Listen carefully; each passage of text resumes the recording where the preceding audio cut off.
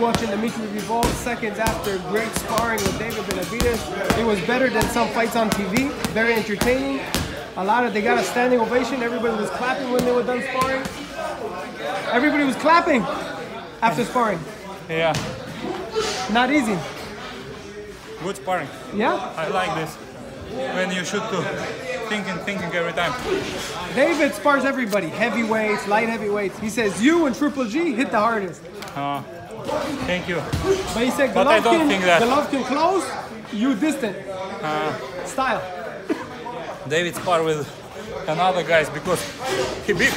Yeah, he's he bigger than me. Huh?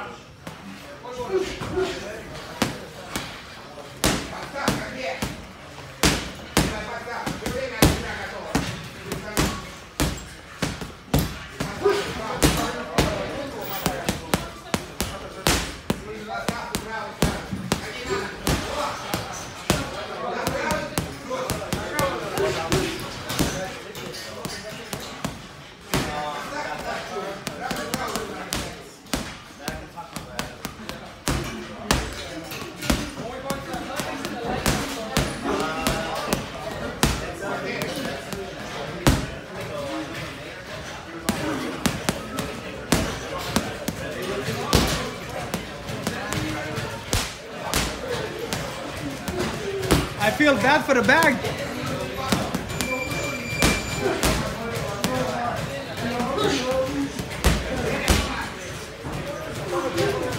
You hit too hard. Hey, how was your meeting with Eddie Hearn? Just meeting. Just hello, Stop. nice to meet you.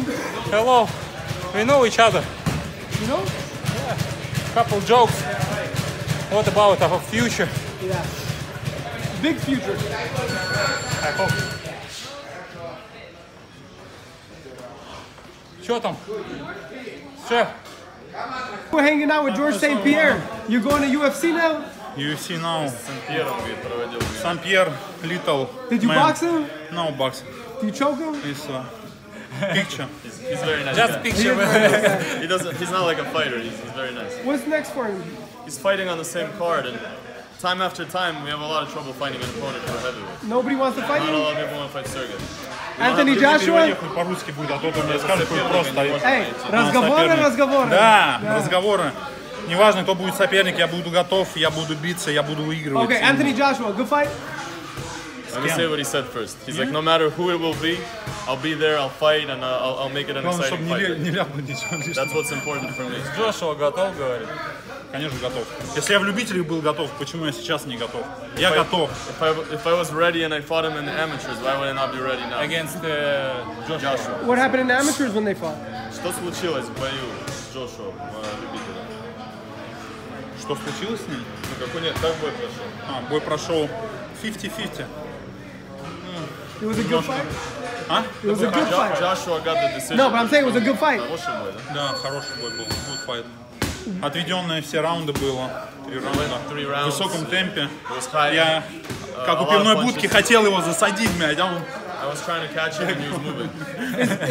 Is Joshua the is Joshua the best Джошуа heavyweight? хороший парень, так что что на него гнать? Anthony's very good Будет guy. бой, будем боксировать, будем выигрывать. Is he number one heavyweight now? Он Джошуа. Who's number two? Wilder. Sergey Kuzmin. Okay, who's number three? Wilder, Fury. Fury. Fury? Yes. Does he win the rematch? Yeah.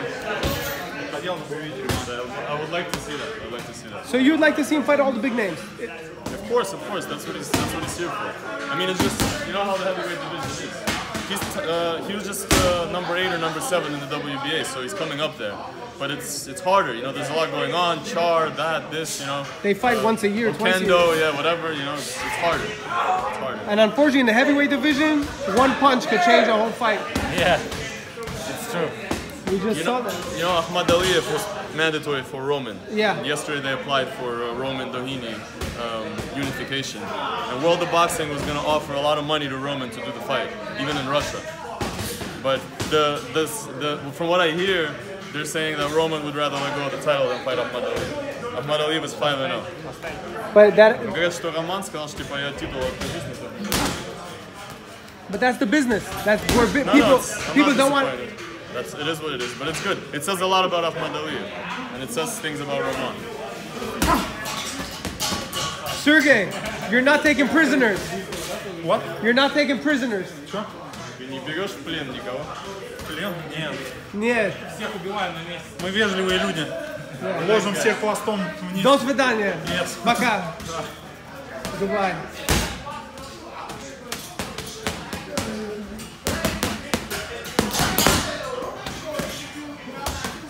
How many amateur fights did he have? Сколько любительских серый? That's a lot. That's a lot of fights. A lot of fight. How many wins? Минус 20 где-то, считай. 230. That's very good. He had a good, good amateur background. Canelo, Danny Jacobs. Danny Jacobs, a big 160. Uh, I don't know. It's uh, uh, I, I don't like uh, give a prediction. I don't know. Maybe, может быть, Канело вообще отравится в этот день, блядь, выпьет лишнюю чашку кофе, и у него живот будет болеть. Я не знаю. Maybe Canelo has, you know, has a bad day and drinks something wrong and doesn't feel well that night. You know, you never know what happens. It's, it's really hard to predict. But it is, it's a great fight. Great fight, yeah, it's like a great fight. Uh, Kovalev, Alvarez. Uh, Okay. Obviously, he's on the pound for pound list. Who else do you have on your top five? Two, two. Both you guys. Uh, whoa, whoa, whoa, whoa, whoa. Uh, because he has uh, okay. four belts. Uh, Crawford. Okay. Uh, Lomachenko. Okay. Uh, Alvarez and Golovkin. Alvarez, Golovkin. Yeah, I would agree, I but I would put Joshua somewhere too. Ah, yeah, yeah. I forget Joshua. I just, I, I believe being on that list, a big factor of it is when the fighters are fighting anybody. And I think that's what Mitri is doing because he's fought at 15 and 0. He's fought most of the guys that he did. You know, any the best that was available, that's what he fought. He never picks and chooses like other guys. So that's why I would keep. You know, Usyk fights anybody. Joshua fights anybody. Everybody who says Joshua doesn't, you know, picks and chooses, that's not true. He's fought some of the best heavyweights in the world. And he's beaten them all. So. And he's beaten them all. So he does the right Yeah, thing. I respect him. And that's what we uh, do, you know, that's the, that's what it's about. And the and the fans respect it. You can be 20 and 0, 25 and 0, but that doesn't put you on the pound for I pound. yeah, it's true. But I gotta ask you guys this. So right now, you have a fight. Is there a date yet? March 9th, Uh, against who? Joe Smith. Joe Smith, obviously the one who beat B-Hop, who knocked him out of the ring. Yes. Tough fighter. What can we expect?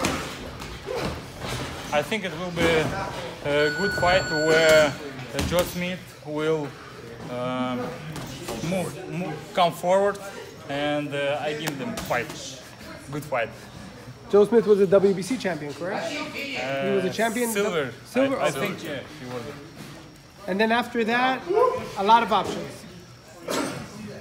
I hope. Okay, Mikey Garcia, Errol Spence. What do you think? Oh, I don't know. I don't know. Uh, I, I, I haven't seen a lot fights uh, Earl Spence, uh, but I saw a couple parts of his fights. He's uh, good on his. Uh, he has a good legs. And Mikey Garcia has a good power. It's an interesting fight. One of uh, the most interesting fight in this year, I think. I have to ask you about power. You just finished sparring David Benavidez. Yeah. He's 21 and 0 with 18 knockouts. Out of everybody you ever sparred, how hard does he hit? Like one, two, three. You know, I sparred uh, against many cruiserweights and some uh, uh, heavyweights. It's too, it's too hard to give him uh, a center. To give him a, you know, it's hard to estimate the power. But he does hit hard. It, uh, he's hard, but uh, hard is not his uh, most uh, plus. Uh, he Not he's his a good asset. Yeah. yeah he he's, he has a good speed. Uh, Yeah. yeah. speed uh, one of the best speed which I which I see, and he is a good uh, uh, attacking unit. Offense. Good long, long combination. Long combinations, yeah. He told me that Triple G and you hit the hardest. Good, good. I'm glad. He's yet to knock out a top 168, Benavidez. He was a great guy, great fighter. He's yet to knock out one of the top fighters. And how many fights does he have? 22, I think. But he was a champion, and he is the champion. No, he's a very I mean, good fighter, yeah. no question. And he's very young. For he's only like He's 21, got, he's got a 22. lot ahead of him. All the fans watching, Bivol underscore D. Yeah. Where do they follow you? Vadim K Team. Vadim K Team. Anything else coming up for your other guys over here in the gym? Um, I saw him. He was here. Hey. So Vadim, talk to us really quick about the new deal with the DAZN. Eddie Hearn came to visit you guys. I, I believe that uh, you know Dmitry Bivol is one of the top fighters on, on the DAZN and uh, In the world, in the world. But I think for the channel, you know, there's all, all the That's other channels. They have a lot of fighters, but right now I think the DAZN will do everything, and that's part of the agreement to make sure that uh, Dmitry is developing quicker into one of the top stars. I asked him if he wants to fight Triple G. He said no problem. Or Canelo. Gennady's my friend. You know? Okay. And it- I'm sure Dmitry wants to fight him, but um, I think with Dmitry going, you know, part of the plan being Dmitry going down, going down to 168, probably the next fight or the fight after that. Um, there's a lot of discussions about a, po- a possible Canelo fight in the near future. If Canelo's watching, what do you tell Canelo? А, есть канал, смотрит, да? Uh, I respect Canelo because he's young and uh, he's famous.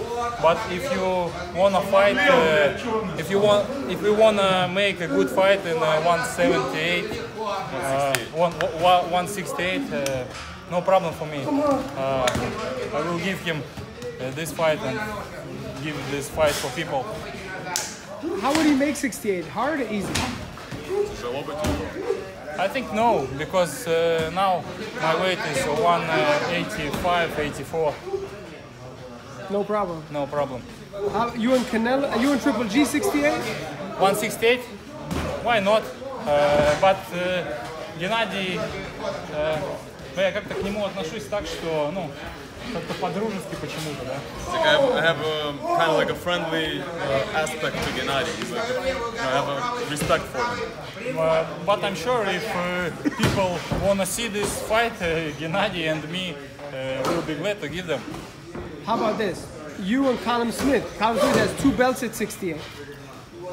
Good, good fight.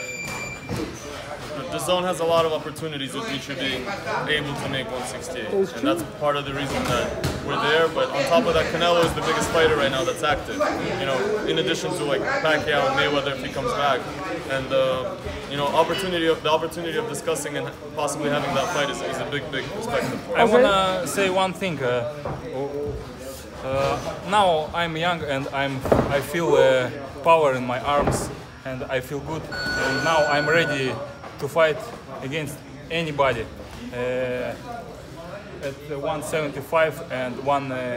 Uh, eight, 168. 168, yeah. Like Broner would say, anybody I, I, can wa- get I wanna uh, make a big fight for these three years, maybe four years. Now I'm ready for this. we were talking with Top Rank, we were very close, you know, and Eddie's our friend. We, we initially wanted to make a deal with Eddie because Eddie's, you know, he's very close with us. But then we were talking to Top Rank because the opportunities are there. That, you know, Gvozdyk was probably going to win at that time. Uh, you know, that was before the Stevenson fight. Um, you know, Kovalev, Alvarez, I knew they were there. Beterbiev was supposed to come there, I knew that. But at the end of the day, you know, considering our relationship, they began to cool down a little bit. And part of the reason is not them. I mean, they know, and their matchmakers know, and they all talk about Dmitry Bivol. They think he's the best, and I, I've heard that many times. But at the end of the day, do you really think all those fighters want to fight Dmitry right now? And that's the main problem. That's why we have to take our own road, and then Top Rank knows that. You know, Bivol's gonna come, he's expensive. You know, you, you gotta get him opponents. He's another one, and, and, and they've got their own. You know, they've got Gvozdyk under contract, they got all these under, uh, other fighters under contract that they gotta give them fights. And none of them want to fight Bivol this year. I don't believe they do. You know, except maybe Kovalev if he wins, because he's, he's ready to fight anybody. He's that type of guy.